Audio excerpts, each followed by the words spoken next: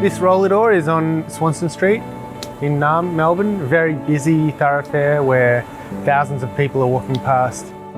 It's great to be able to bring colour to an otherwise grey roller door on this construction site. With my work, because it's done quite quickly, the instantaneous approach means that the people that were walking past today will be walking past tomorrow will see this work and realise that it wasn't there before. I work primarily with uh, gravity-based drip painting. The work is vibrant, gestural, energetic, and I use fire extinguishers to project the paint onto the wall quite quickly, uh, and it feels like a splash of colour as people are walking past.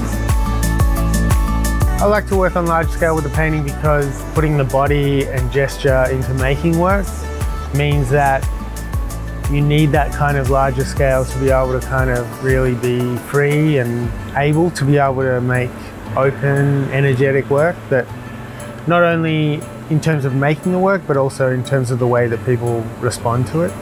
And I do love the way that people uh, respond to something quite large.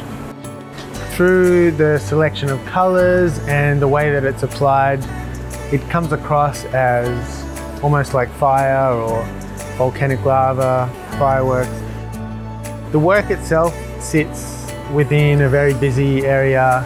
In a way, the intensity of the colour is competing with so much around. Most people will view the work as a blur almost, and in a way, that's what the work is when it's falling, and it's the way that people will view the work as they're walking along as well.